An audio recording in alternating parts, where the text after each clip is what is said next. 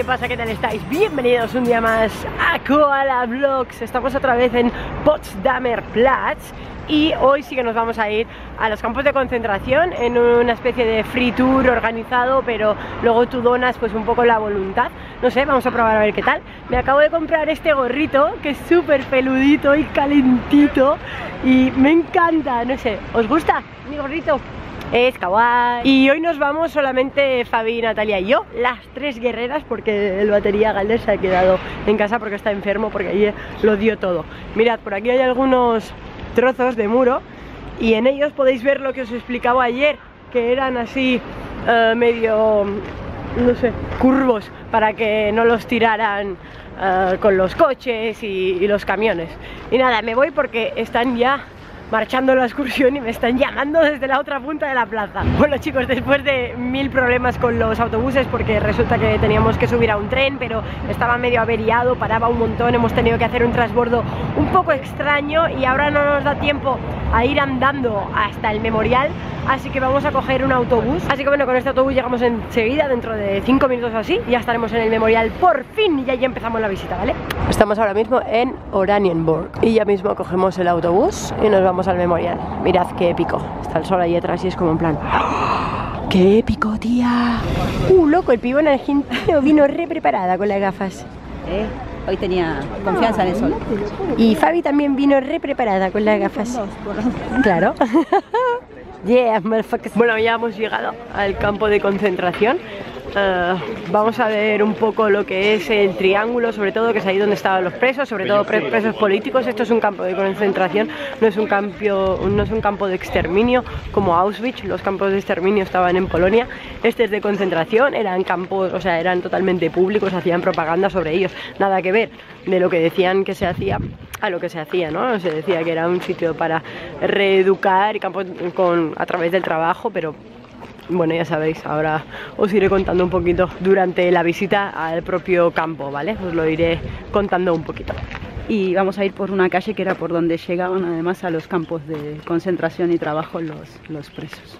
Esto que está aquí detrás era la zona que antiguamente utilizaban los mm, oficiales de la SS de bajo rango. Y actualmente está para la policía, o sea que, bueno, más o menos bueno, este campo en el que estamos hoy tenía más de 370 hectáreas, o sea, unos 300 campos de fútbol. Y hoy vamos a ver solo esta parte que os vamos a mostrar ahora. Sobre todo vamos a venir por aquí, entrar al campo, ver todo lo que era el campo y estos son unas naves que se fueron construyendo luego poco a poco, que aquí sí que se asesinaba. O sea, aunque fueran campos de concentración, se calcula que entre 20.000 y 50.000 personas murieron aquí. Bueno, aquí detrás en el memorial está, como os comentaba, lo, lo que se encontraron las tropas cuando llegaron aquí.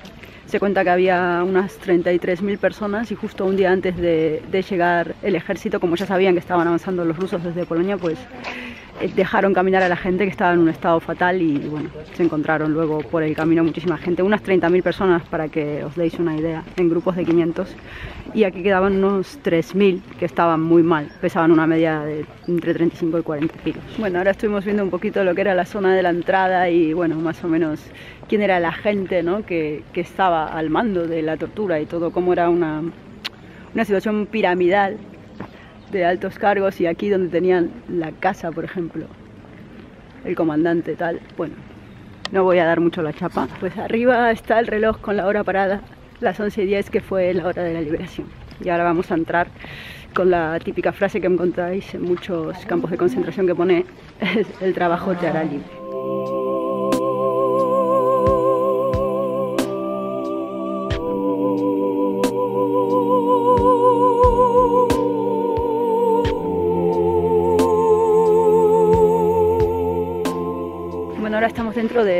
Es el campo en sí, de ese triángulo que os mostraba antes Alba a la entrada.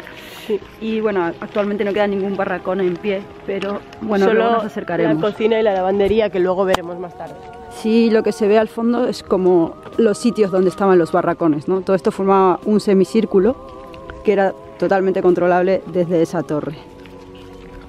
Y luego aquí tenían piedra, por si por escucharlo si querían escapar y luego esta reja estaba electrificada. Esto de aquí es una réplica de lo que era la zona neutral eh, si entraban en esta zona directamente los ejecutaban por intento de fuga. Muchas veces los empujaban hasta aquí para poder ejecutarlos con la excusa de intento de fuga, pero bueno. Como os explicaba antes, estos son los barracones, ¿vale? Ahí ponen los números y, y ahí estaban situados. Bueno, acabamos de entrar a este barracón que está aquí detrás Ahora vamos a, entrar para mostraros un poquito. Lo que sí estamos viendo que la excursión va bastante rápido, la guía es muy buena y explica muchísimo. Y no podemos explicar todo lo que dice porque ella no quiere salir, entonces mm, no podemos hablar durante 20 minutos cada vez. Entonces lo mejor que podéis hacer es, venir, nosotros os vamos a enseñar un poquito pinceladas, ¿no? Pero Yo creo que más plano recurso y lo que pensamos porque aquí es mucho un lugar de sensaciones, ¿no? Sí, pero bueno, acabo de cambiar ahora el objetivo para hacer un plano general porque es que esto es enorme, yo no sé si se aprecia lo enorme, enorme que es.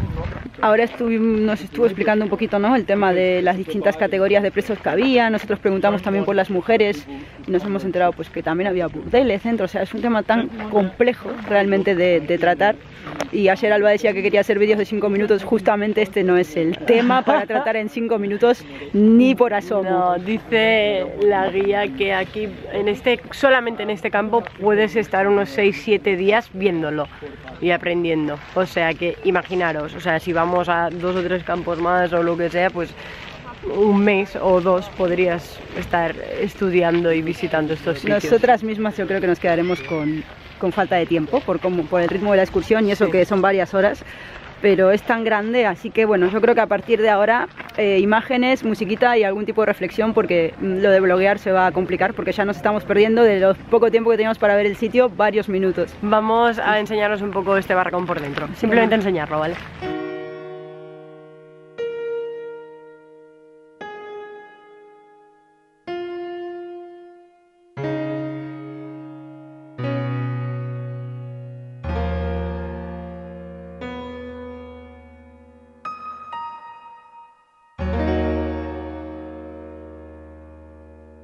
Pues eso, esto era la cárcel dentro de la cárcel realmente, ¿no? Dentro del campo de concentración tenían montada esta cárcel.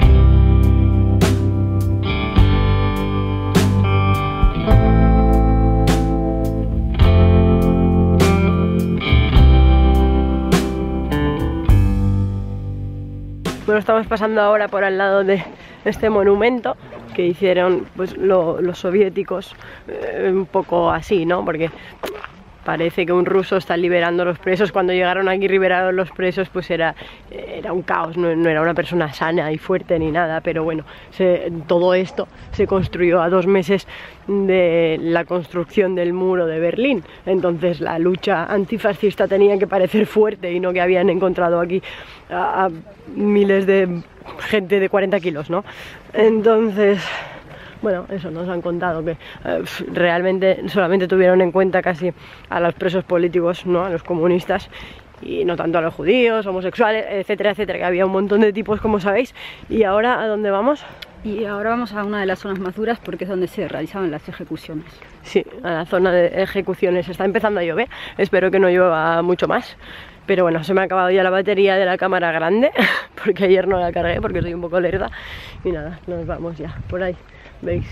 Esto es una de las puntas del triángulo, que esto tiene forma de triángulo, como sabéis. Estamos en la punta de arriba, o sea, se, se entra por esta puerta y el triángulo hace así, estamos en esta Realmente vamos a ir a un anexo ahora porque donde se realizaban las ejecuciones era un anexo. Eso es, ahora, ahora estamos, vamos a salir ahora del triángulo y vamos a un anexo a la zona de ejecuciones, que era un anexo realmente al triángulo equilátero principal.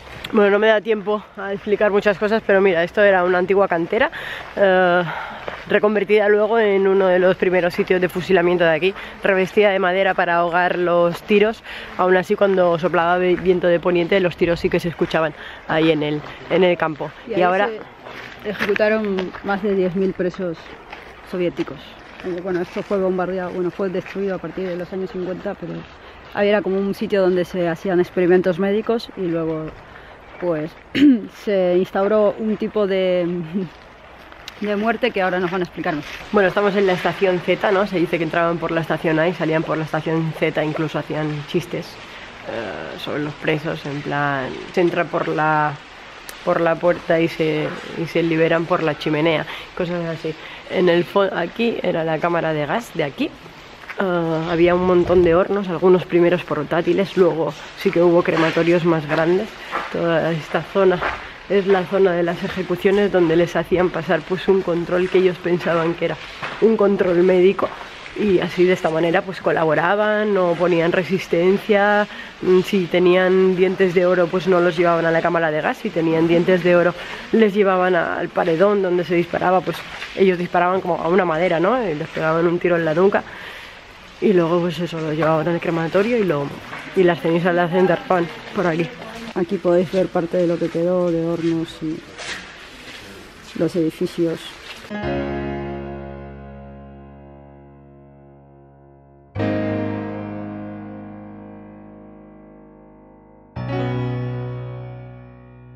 Esta era una de las torres que estaban ubicadas estratégicamente con respecto a la primera, que es la que está ahí, para tener el control de todos los barracones, que como os dije son esos que están por ahí. Esta es la zona donde se hacían las autopsias a partir del año 41, decidieron llevar un control de los cadáveres, así que aquí era donde venían una vez muertos.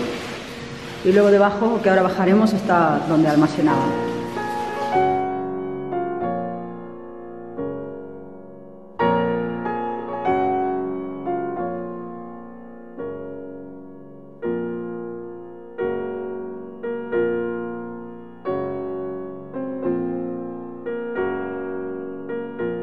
Aquí era donde almacenaban los cadáveres antes de llevarlos por aquí, por carros, hasta, hasta el crematorio lo que os hemos enseñado antes, los hornos. Esto es de aquí donde acabamos de salir, de la zona de las autopsias y demás, y eso de ahí son los, las casetas de la enfermería. Y nada, vamos a salir por una puerta para no tener que dar toda la vuelta, vamos a salir ya por aquí y os cuento ya lo último. Y bueno, ahora ya vamos a salir por aquí para no tener que dar toda la vuelta nos van a abrir una puertecilla por aquí. Bueno, hemos salido ya del campo como habéis visto, me he pillado un chocolate que viene con un montón de cosas de...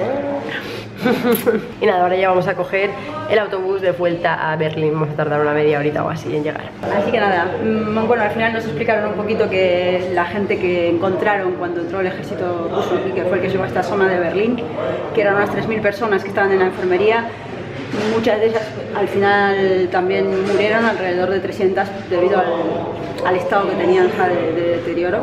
Muchas otras eh, se suicidaron y muchas pues, al final se convirtieron en marginales, que no era tan fácil como, bueno, ahora estás libre y rehaces tu vida, ¿no? También les comento que hay una iniciativa muy chula que son unas placas doradas que se ponen en las casas de la gente, ¿no? Para que no se conviertan solamente en cifras, para que puedan también para que pueda saber un poco su historia, su nombre, en el año que le deportaron y más o menos lo que pasó y si no, bueno, ponen un interrogante. ¿Qué tal, Ruby? ¿Qué tal te ha parecido la excursión? Brutal. También hemos entrado a la morgue, ¿no? Y pueda ir que la Sí, eso sí, es 100% recomendable hacerla, hacerla con tiempo y, y nada. Con, con ganas. Con la mente libre y empatizar mucho lo que siempre decimos, cualitas, la memoria, es muy importante para comprender un poco la humanidad y la, cantidad de barbaridades que somos capaces de hacer los humanos. Hay que hacer un ejercicio de memoria, de mantenerla, de comprender y de, de informaros sobre todo de la historia y saber lo que pasó y lo que está pasando. El por qué, el cómo, el cuándo, el dónde, el quién. Todo está guardado en la memoria refugio de la vida y de la historia. La, memoria, despierta para herir a los pueblos dormidos que no la dejan vivir, libre como el viento. Bueno, por último, antes de iros, deciros que todo este barrio residencial que veis detrás de mí, a ver, ahora os muestro un poquito mejor, ¿vale? Este tipo de casas y tal, pues eran las casas de los, de los altos cargos de las SS, ¿no? Estaban justamente al lado, para que veáis, ahí está la entrada a lo que era el campo de concentración y este es el barrio que ocupaban las familias, bueno, los, los altos cargos de, la, de las SS con sus familias. Ya estamos en casa y vamos a abrir la cerveza. ¿Os acordáis que Fabi se ganó una cerveza por haber sido la que nos estaba cuidando las espaldas cuando fuimos en bici? Así que ahora mismo la vamos a probar. ¿Qué, te- qué os parece? Ahora decimos qué pasa. ¿Cómo hacer que un koala deje de editar? ¡Birra! ¡Alba, birra! ¡Vamos! ¡Prost! Prost. ¡Prost! Prostata. Riquitiram. Ay, huele muy rico. Aló. Está buena, ¿eh? Gusta, nena gusta. Le doy un 7, 8. Galder. Y un 7 también. Ah, pues a mí me ha gustado mucho, no sé si porque Yo la también le voy a primera... dar un 8. Pues aquí estamos otra vez con el koala editando el blog que veréis. Es que vaya Bueno. vlogs, eh, os quejaréis, son largos, largos, o sea, me llevan mucho más curro. Y además estamos con las dos cámaras, no sé si os daréis cuenta que hay imágenes de las dos Sí, cámaras es realmente. muchísimo curro, pero espero que os esté encantando porque de verdad que me estoy dejando el alma para que sean especiales, bonitos, útiles, educativos, no sé, que capten la esencia un poco de todo para que viváis un poco la aventura con nosotros y también para contaros historias, pequeñas historias, grandes historias. Bueno chicos, ya he subido el vídeo que vosotros visteis ayer y ahora hemos salido de casa y ya estamos en mm, bueno, en un sitio, ¿vale? Luego, luego me aprendo bien cómo se pronuncia y lo digo, ¿vale? ¿Sí? Es algo así como Nation Austras. Es, no, ya sé que no se dice así. No, no pasa nada. Ya, luego, luego pregunto cómo se dice, ¿vale? Aquí vive una amiga de mi madre que es de Mallorca y que conozco desde que nací y vamos a, vamos a su casa, que nos espera. Bueno, ya estamos en la casa de la amiga de mi madre y mirad lo que nos ha sacado. ¡Madre mía! Eh, Esta no la hemos probado además. Radeberger. Pilsner. Mm. Bueno, ahora estamos dando un paseo por Landwehrkanal. Es muy Estoy diciendo bien.